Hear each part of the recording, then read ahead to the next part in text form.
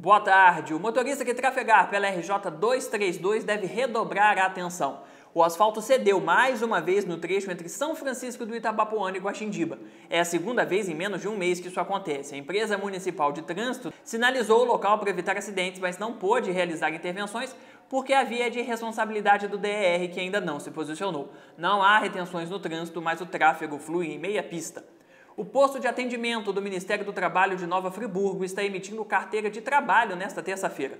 Por ocasião do Dia do Trabalhador, o setor de políticas de emprego está realizando a emissão sem agendamento.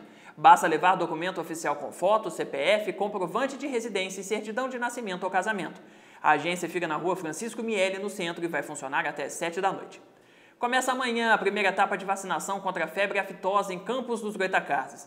Criadores com até 70 cabeças de gado terão acesso gratuito à imunização. É necessário que o proprietário esteja cadastrado na Defesa Agropecuária Estadual e com a documentação em dia. Segundo a Emater, serão disponibilizadas 24 mil doses. A população de bovinos e de búfalos da cidade é de 270 mil animais, segundo o órgão. Os proprietários com rebanho superior a 70 espécimes vão ter que comprar a vacina. Nós voltamos no intervalo do Jornal da Band. Até lá!